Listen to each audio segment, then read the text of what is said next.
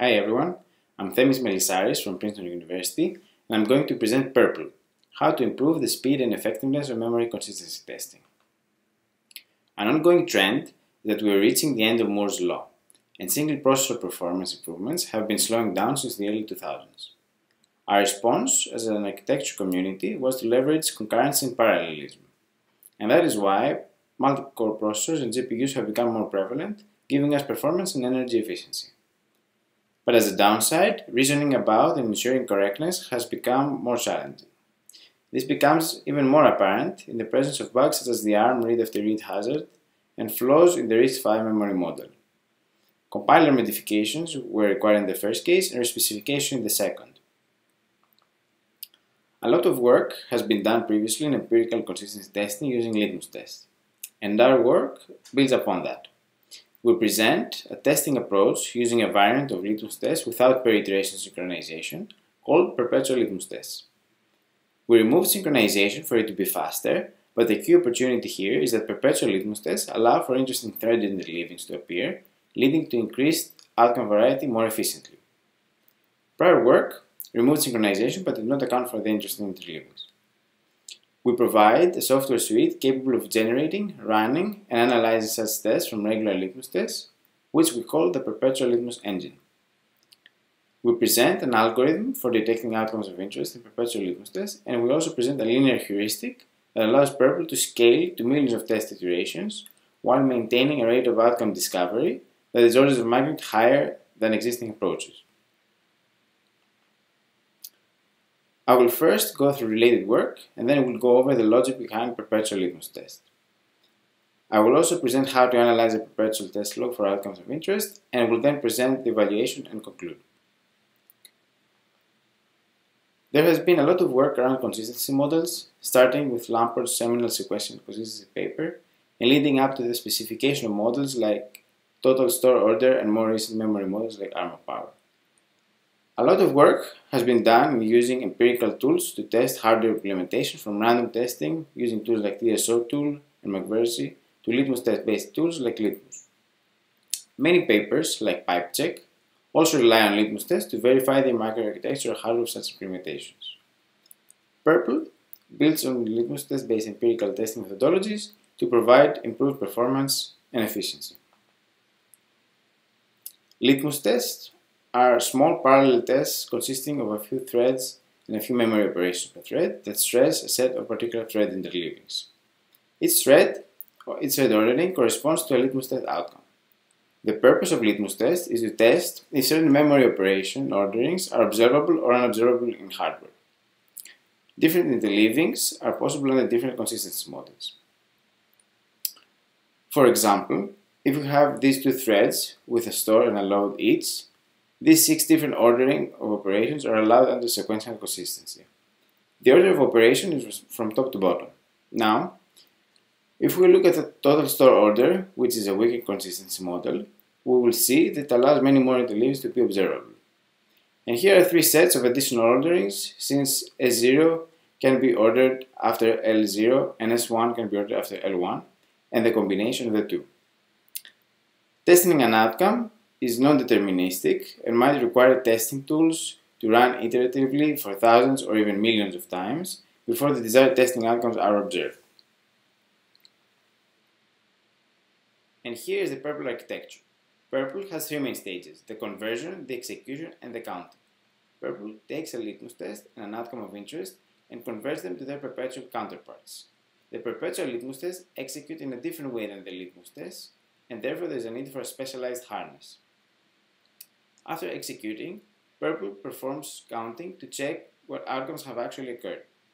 With perpetual litmus tests, counting the variety and frequency of outcomes is not trivial. In addition to the exhaustive algorithm for counting outcomes, PerpLE provides fast counting using heuristics. Now, let's look at the execution of a litmus test. This is the store buffering litmus test with two threads, each thread performing a store and a load to different memory locations.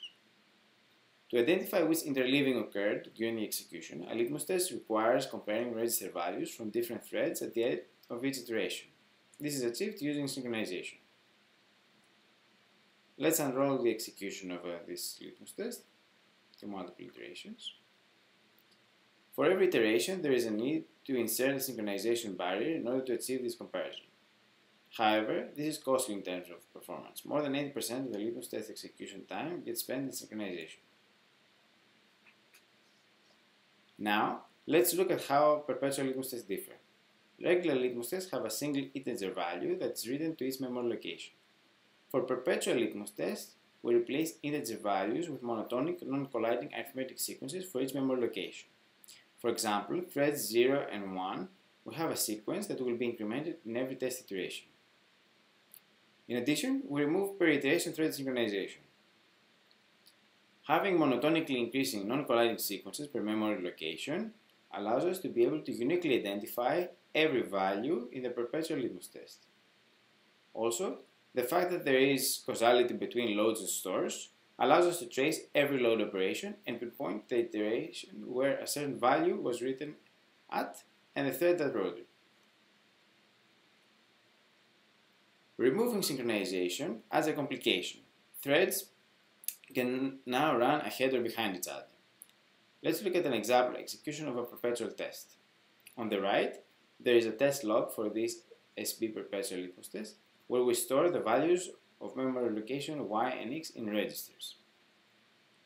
So, thread 0 starts executing the first iteration first and stores the value of y in the register. And then it executes the second iteration and thread 0's third iteration completes at the same time that thread 1 completes its first iteration and stores the value of x in register 1. And finally, both threads complete and we obtain our log. Let's look at an example of causality. In the case that we know that register 0 is 1, we know that 1 originates from the write at the first iteration of thread 1. With barriers removed, perpetual litmus tests allow exploration of a larger space of thread interleavings. If we look at the log after the execution of a perpetual test, we do not know the exact order of operations in the time axis since synchronization is removed. Therefore, we have to look at all the pair combinations of registers for the two threads. We define the instance of these thread interleavings in a perpetual litmus test as a test frame. The space of these test frames is proportional to the number of threads with loads. So let's look at the test log. Here we have a concrete example log with three iterations from the perpetual SB litmus test discussed previously. In this example we have a total of 9 frames. With regular litmus tests, at the end of each iteration we compare the register values to identify if the outcome we target has occurred. For, uh, for example, with SB, we check if register 0 and 1 are 0. We need to do something similar with perpetual tests. It's slightly more complicated. Because we have different interleavings and multiple values from the sequence that correspond to the same condition, we change the conditions from equalities into inequalities, which we explain in detail in the paper. We can see the set of inequalities that the converter generates for the perpetual store buffering litmus test. Using this set of conditions, we need to test in every test frame if the outcome of interest occurred. So let's start. We substitute the values of n and m in the conditions and check if both are true. In this case, they aren't, so we move on. We do that for all combinations of n and m. So the only case that the conditions are true is for n equals 2 and m equals 1, which is counted as a target outcome. As you can see, the counting stage is time consuming, so the question is, can we do something better? This exhaustive counting and analysis for perpetual test frames has a complexity polynomial to the number of reading threads. Why can we use a heuristic? The exhaustive can generate a sequence of consecutive outcomes corresponding to the same condition because one thread might run ahead or behind the other, therefore allowing consecutive frames to satisfy the same condition. The heuristic, however, can find just the first instance of the chain. To create a heuristic, we substitute one inequality with an inequality. Specifically, we substitute the inequality with the first instance that satisfies the inequality. For example, for register 0 of n smaller equals m, if we use equal m, then this is the substitution we perform. Now let's look at how this affects the counting phase. Our inequality now only depends on n, so we quickly perform substitutions. The heuristic only checks one frame for n equals 0, which is not satisfied by the condition. The same thing for n equals 1. However, for n equals 2, it finds the same positive target outcome as the exhaustive counting algorithm. Now the question is whether PerpLE succeeds in identifying a larger variety of outcomes more quickly. To find out, we generated a suite of 34 perpetual litmus tests and ran against non-synchronization modes of litmus 7 using the default user mode as the baseline. To answer the question, we looked at different metrics, including performance speedup and outcome variety. Basically, if PerpLE is able to observe a larger subset of outcomes compared to Litmus for a fixed number of iterations. We also created a metric that corresponds to the rate with which outcomes are detected over time. Here, we present the results for the performance speedup of PerpLE over Litmus 7 uh, user mode as a, a baseline. We ran for 10,000 iterations. On the x-axis, we have all litmus tests that are part of our litmus suite and the geometry. Each bar in the y-axis represents the relative speedup over the user mode baseline, which has the value 1. The axis is logarithmic.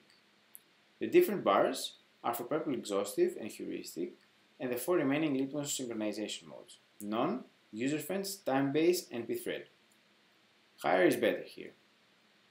As you can see, PerpLE with the exhaustive counter does not perform very well, so we will focus on the heuristic for the rest of the evaluation. PerpLE, PerpLE heuristic, offers close to 9x speedup over the default user mode for the perpetual suite and 1.47x overall. Litmus none does not have synchronization as well and it performs fairly well, and the other methods perform similar or worse than the baseline. Here in this figure, we compare PerpLE's efficiency in terms of outcome variety against Litmus. We zoom in on three different Litmus tests, store buffering, load buffering, and POWR001, which you can see at the bottom of the slide. We run for a 1000 iterations. On the x-axis, we have a set of bars for each bit vector. The bit vectors correspond to the different outcomes, both allowed and forbidden, uh, for each uh, litmus test when appending the values of registers together. SB and LB have four different outcomes, and the other litmus test has eight. The yellow X corresponds to LB outcome 1, which is forbidden in x86 TSO. On the y-axis, we have the reported frequency of each outcome, and the axis is logarithmic. A tool observing a larger set of outcomes, essentially when we see more bars of the same color in, in this plot, has better outcome variety. PerpLE and Litmus 7 time base observe all allowed outcomes with high frequency. The circles here represent how many Litmus 7 modes observe a given outcome. Target outcomes, which are 1-1 for SB and 1-1-1 for POWR001, are observed by the fewest number of modes. Here, we compare PerpLE's efficiency in terms of outcome detection ratios. On the x-axis, we have the test iterations from 1000 to 100 million. On the y-axis, we have the detection rate improvement over the baseline user mode. For each tool, we take the relative outcome detection rate for each litmus test in the suite when dividing by litmus 7 user mode outcome detection rate and then we take the arithmetic mean across the suite for each test iteration size. Higher is better. This figure is about the detection rate of a single outcome per test, which we call target outcome. Here Litmus 7 does not observe all outcomes at 1000 iteration. For example, uh, litmus 7 none is 0 for all tests at 1000 iterations. PerpLE detects outcomes with an average 4 orders of magnitude higher rate than litmus 7 user mode and is strictly better than any of the other litmus 7 synchronization modes. To conclude, we presented a new methodology for testing consistency using a new litmus test variant called perpetual litmus test. We presented PerpLE, a set of tools that uh, allow us to create a test suite and enable the execution and analysis of the new test variants. PerpLE offers higher outcome variety, higher speedup, which is up to 9x on average, and higher detection rate, which is on average 4 orders of magnitude higher than Litmus 7. And with that, I will conclude my talk. Thank you very much for watching our video. And with that, I would like to invite you to join our live session.